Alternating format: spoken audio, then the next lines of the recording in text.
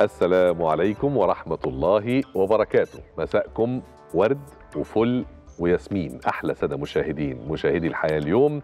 اليوم الجمعة آخر أيام الأسبوع الجمعة الموافق 26 أغسطس 2016 من الميلاد. طيب النهاردة عندنا حلقة ثرية رغم إن إحنا في عطلة نهاية الأسبوع والمفروض إنها عطلة بس إحنا ما بنعطلش الحمد لله. عندنا حلقة ثرية فيها حوارات مهمة في حوار آه، ثري حوالين الدستور المصري وفي قبله كمان حوار ربما أكثر ثراء مع معالي وزير الأوقاف. حوالين كل الأمور والملفات اللي عاملة لغط في الآونة الأخيرة حوالين تجديد الخطاب الديني وموضوع مسؤولية ال- وزارة الأوقاف عن المساجد وفواتير الكهرباء والمية بتاعة المساجد. أضيف إلى ذلك الأزمة اللي كانت ما بين وزارة الأوقاف ومشيخة الأزهر حول الخطاب أو الخطبة الموحدة المكتوبة. أشياء كثيرة جدا هناقشها مع وزير الأوقاف.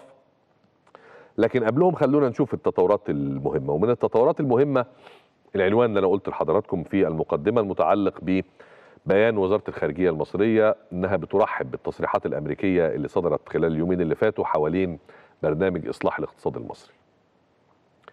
والحقيقة العنوان ده في حد ذاته بيحمل كذا إشارة خلونا نقف عندها كده علشان نحدد الأمور ونحدد طبيعة التعامل الرسمي لوزارة الخارجية وللدولة في الفترة اللي جاية.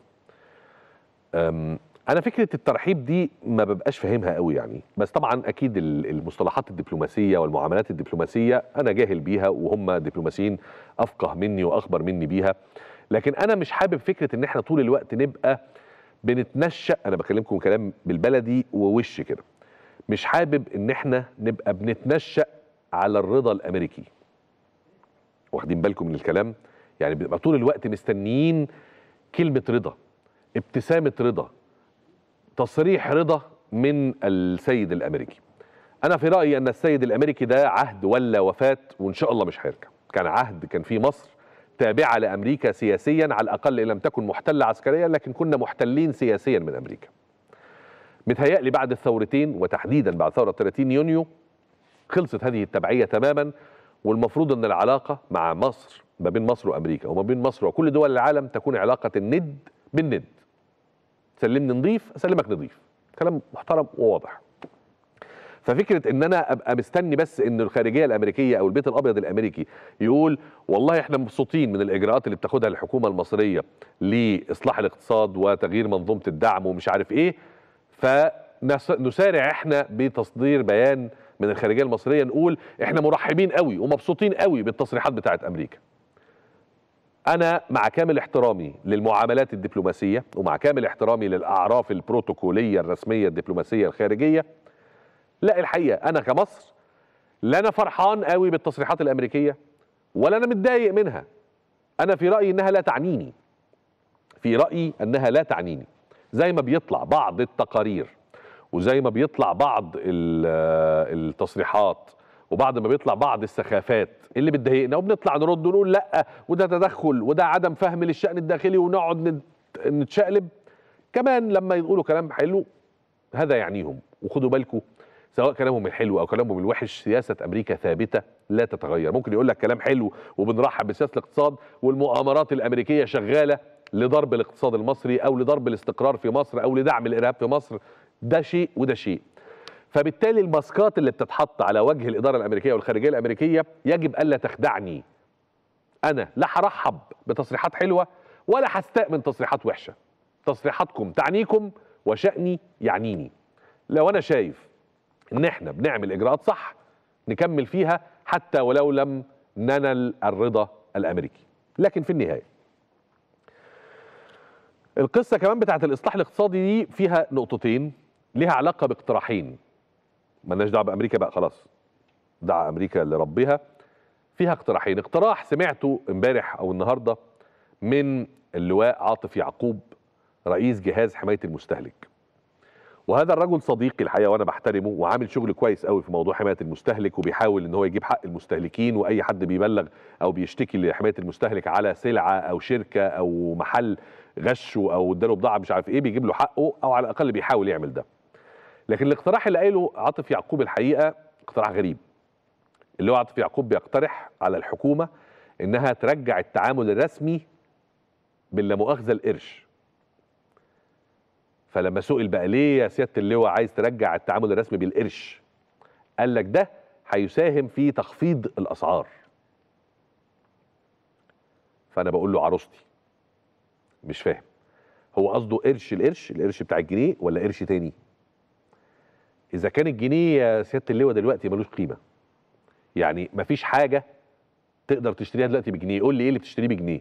ده أنت لو اديت جنيه للمنادي اللي بيركن لك عربيتك هيبص كده ويقوم راميه تاني في وشك. مش في وش حضرتك يعني قصدي في وش اللي, اللي هيدي له الجنيه. في وشنا. ففكرة إن الجنيه أساسا دلوقتي قيمته تقريبا معدومة قدام الغلاء الفظيع في الأسعار والعملات الأجنبية اليورو والدولار والين ومش عارف إيه فبالتالي الجنيه نفسه ما تقدرش تشتري بيه حاجة. فايه اللي هترجع تشتريه بالقرش؟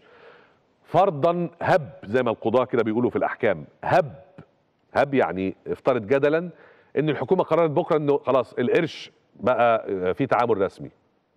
إيه اللي هيغير؟ هتلاقي الجزار بدل ما بيبيع كيلو اللحمه ب 200 جنيه هيبيعهم مثلا بإيه؟ ب 3 ب 4 مليون قرش؟ يعني مش فاهم الفكرة مش فاهم اللقطة. لكن في النهاية اقتراح اللي هو عاطف يحطنا قدام المراية إن إحنا فعلا نبقى عارفين إن عملتنا محتاجة زقة محتاجة نفخة بس مش بالقرش. الجنيه نفسه محتاج إنه يقف على رجله يقف على رجله بإنتاج بس ننتج فيبقى الجمله العمله بتاعتنا ليها قيمة. طول ما إحنا شعب لا ينتج هنبقى شعب بلا عملة لها قيمة. قولا واحدا. الاقتراح الثاني في ثانية اقتراح له علاقة بالعبد الفقير إلى الله. وهو اقتراح أهديه وده برضه مش عايز انسب الفضل لنفسي ده واحد من أصدقائي هو اللي قاله لي وأنا شفت إنه يبقى اقتراح رائع للحكومة المصرية وللبنك المركزي المصري تحديدا. إحنا عندنا مشكلة في التعامل بالدولار. والحكومة دلوقتي بتتعقب وبتتابع الشركات الصرافة اللي بتتعامل بالدولار بغير القانون وبتتلاعب ومش عارف إيه وكذا تمام. يبقى فاضل إن يبقى في تعامل رسمي ما بيني وما بين البنك بالدولار. أي حد فينا بيروح البنك يقول له عايز دولار البنك يقول له ما عنديش ما فيش ما تلاقيش ما كانش يتعز. طيب ممكن أقول اقتراح في ثانية للسادة مجلس إدارة البنك المركزي وللسيد المحترم محافظ البنك المركزي. أنا دلوقتي بكرة هروح أودع 100 دولار في البنك. أنا هحط 100 دولار في البنك. كل اللي أنا طالبه ان البنك يديني ورقة ان أنا حطيت 100 دولار. قوم بعد فترة أنا شخصيا لما أروح اطلب 100 دولار البنك يديهاني بالوصل اللي اداهولي ده. معنى كده ان مفيش حد ياخد عملة من البنوك إلا لما يكون سبق وادى عملة للبنوك. ده هيعمل إيه؟ ده هيعمل حالة تداول. البنك مش عايز اخلي الكرة في ملعبه الأول أقول اديني وبعدين أنا أديك. لا أنا اللي هأعطي البنوك عملة. هقول له خد ال1000 دولار دول خد ال1000 يورو دول خد ال 500 ريال دول حطهم في حسابي. أو بدلهم لي بدلهم لي حتى بالسعر الرسمي. يعني خد ال1000 دولار دول بدل ما تديني 12 جنيه وشوية زي ما في السوق السوداء بيحصل لا اديني 8888 جنيه. ماشي أنا موافق. خلاص أنا كده هخسر ال 3 جنيه وشوية دول بتوع السوق السوداء. ماشي. بس كمان شهر لما أتزنق سواء أنا مسافر بره ولا عندي توريد لشحنة وأنا عندي شركة استيراد أو حتى الناس اللي ولادهم في المدارس الأجنبية وبيحاولوا يدوروا على الدولار أو أو أو أو. لما أروح البنك وأقول له اديني 1000 دولار عشان أدفع مصاريف بنتي أو عشان مسافر آه بره البلاد أو عندي شحنة أو كذا. هيقول لي وريني الوصله هل انت وردت قبل كده دولار؟ أقول له أيوه أنا من شهر وادي الوصله اهو بتاع البنك وردت لك 1000 دولار. عايز 1000 دولار. يديهم لي بسعر البنك المركزي. هنا هيحصل تداول وهيحصل ثقة مني في إن أنا أدي البنك لأن أنا عارف إن هو بعد كده هيرجع لي بالوصل بالسند. وصل كده بالختم إن أنت في يوم كذا سلمت 5000 ريال في حسابك أو صرفت حولت 5000 ريال. فيبقى السند ده سند ثقة. بيني وبين البنك. هل ده ممكن يحصل؟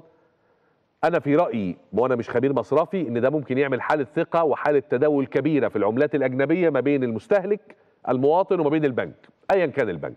فكروا فيها ويا رب تلاقي الهوى وتبقى مفيدة إن شاء الله 10% في مصلحة الاقتصاد والحالة المصرفية في مصر.